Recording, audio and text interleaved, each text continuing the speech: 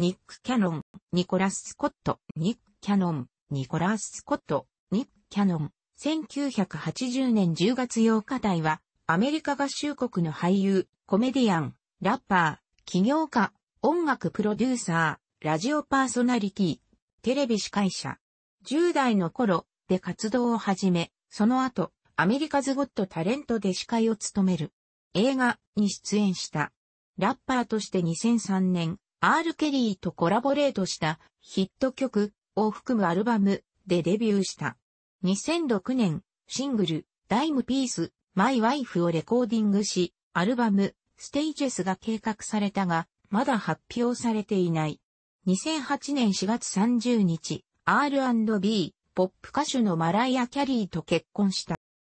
カリフォルニア州サンディエゴに、ニコラス・スコット・キャノン、ニコラース・スコット・キャノンという名で出生。8歳の時にラップデュオ、DA ボムスクワットを結成。16歳の時にハリウッドに移った。コメディ俳優のようなポジションベッドでは司会を務めるなどしている。1998年にニコロデオンのオールザットでデビュー。2002年放送のザ・ニック・キャノン賞でブレイク。また、同年公開のドラムラインで映画初主演を果たす。10代の頃、友人のスティーブ・グローブスと共にラップグループ、DAG4 ドープボムスクワットを結成した。彼らはウィル・スミスを好んで聴いていた。2001年、ジャイブレコードとの契約後、映画ジミー・ニュートロン僕は天才発明家のサウンドトラックで1988年のヒット曲をロメオ・ミラーと共にカバーした。2003年、シングル You are Pops Don't Like Me を含むアルバムで歌手デビューした。2005年、自身のレコード会社、キャン、アイボールレコーズを創立し、年末に2枚目のアルバム、ステージスを発表する計画を立てた。2005年7月、アルバムからの1枚目のシングル、 Can I Live が発表され、2006年3月、2枚目のシングル、 Dime Piece が発表されたが、俳優業にシフトしたためアルバムは発表されなかった。2009年、 Can I Ball Records 倒産後、N、クレディベルエンターテインメントを創立した。2010年、ヒップホップのパイオニアであるスリックリックをパロディ化したスリックニックというキャラクターを作り出した。スリックニックとしての、の、フリースタイルでヒップホップの大スターであるエミネムを侮辱する I am a Slick Rick、スリックリックの、の、フリースタイルラップ、ニック、S スストーリーの2曲を発表した。2010年12月6日、初のミックステープ、 Child of the Corn を発表した。2013年7月26日、シングル、ミーセクシーを発表し、アルバム、ステージェスとナーゲから7年経ち、2枚目としての新たなアルバムを、アフロジャック、ピットブル、フューチャー、ボローダドンとのコラボレートで制作中であることを発表した。2014年2月11日、アフロジャックとコラボレートした2枚目のシングル、ラーキング4、A ドリームを発表した。2月13日、ビボよりミュージックビデオが発表された。2005年、MTV の即興コメディシリーズのプロデュース及び司会を務めた。同年、ニコロデオンのキッズチョイスアワードで人間大砲がスライムに突っ込む、いわゆるスライムスントの司会を務めた。アメリカズゴットタレント第4シーズンから司会を務め、現在第9シーズン放送中である。ニコロデオンの Friday Night Slime Time の司会も務めた。さらにキャノンは、エレン・デジェネレスの Bigger, Longer, Wider の DJ も務めた。2009年12月11日、キャノンは、ジャスティン・ティンバーレイク、ヘイデン・パネッティア、レブロン・ジェームズ、ケリー・ローランド、アリシア・キーズと共にの司会を務めた。2011年7月4日、ネイサンズ国際、ホットドッグ早食い選手権の司会を務めた。2013年11月4日、エボニー氏のエボニーマガジンパワー100アワーズの司会、及び受賞者となった。2014年春と共にの司会を務める予定である。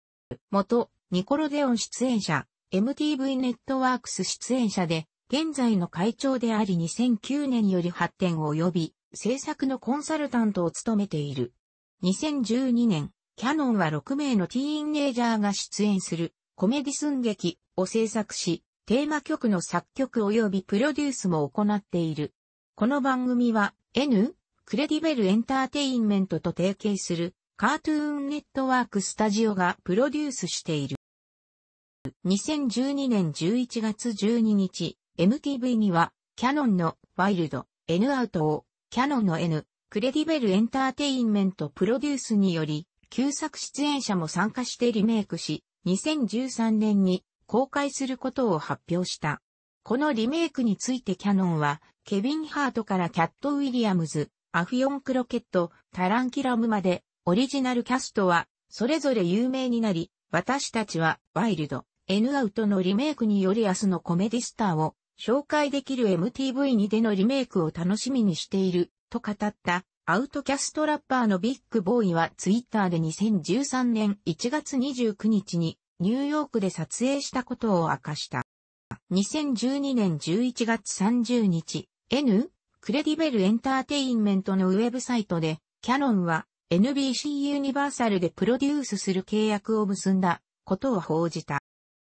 2010年1月19日、キャノンは朝6時から10時までニューヨークのでニッキー、サザン、サラリーと共にラジオ番組を開始した。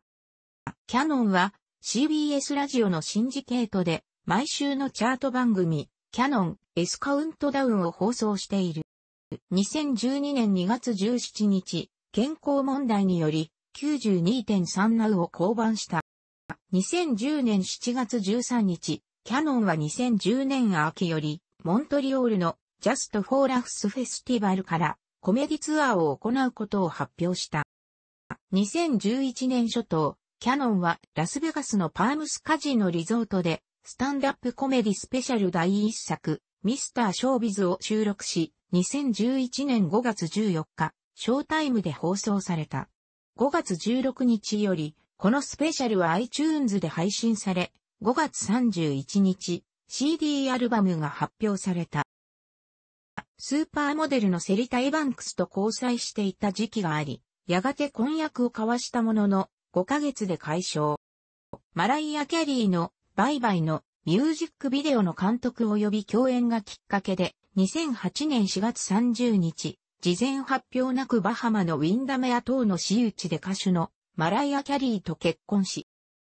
2011年4月、キャリーは男女の双子を出産した。長女はマリリン・モンローにちなみモンロー・キャノン。長男はキャノンがモロッコ様式部屋でキャリーにプロポーズしたことからモロッカンスット・キャノンと名付けた。スコットはキャノンのミドルネームで彼の祖母の旧姓である。モンロは母同様、ミドルネームはない。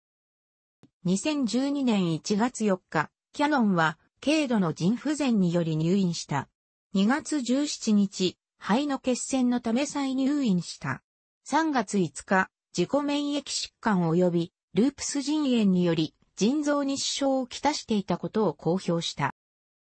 2013年5月1日、キャノンとキャリーは5回目の結婚記念日と双子の2歳の誕生日を祝い、ディズニーランドリゾートでファンタジーウェディングを取り行った。2011年、キャノンは、ティーンネイジャーが地域のために情熱を持って行動を起こすことを喚起するのための公共広告を撮影した。2011年からキャノンは全米郵便配達員連合の5月第2土曜日に全米で行われる食料寄付のスポークスパーソンを務めている。エミネムの2009年のアルバムリラプスの収録曲バッチパイプスフロムバッチダドはキャノンの妻であるマライア・キャリーをからかったものであった。キャリーは歌詞及び格好でエミネムを意図するオブセストの曲及びミュージックビデオを発表し、キャノンはツイッターで発言した。エミネムはミックステープスタイルの曲でキャノン及びキャリー双方について言及し、その後この件について終止符を打った。この確執は2010年9月にキャノンがのの演奏に乗せ、エミネムに向けてスリックリックの流れを組む I am エースリックリックが発表されるまで続いていたと考えられている。その後、Facebook、Twitter、ラジオ番組を通じて、エミネム対キャノンのチャリティボクシング開催へ向けたキャンペーンが行われた。I am エースリックリック発表から約1年後の2011年9月下旬、キャノンはエミネムに向けた I Remember を発表した。2011年10月3日、キャノンはアンクルマーダと共にエミネム、ラジオ司会者シャーロメイン・ザ・ゴッド及び R&B 歌手レイ・ジェイとラッパーのファボラスとの確執についての Warning を発表した。キャノンはエミネムを歌詞で攻撃し、エミネムがニック・キャノンが自分のことについて言及し始めるとは思わなかったと、語るティム・ウェストウッドとの2009年オーディオクリップを使用している。キャノンはこのクリップに、マーシャル、君はそう言ったがやる前に考えるべきだったと反論し、スリムシェイディを許した。楽しくご覧になりましたら、購読と良いです。クリックしてください。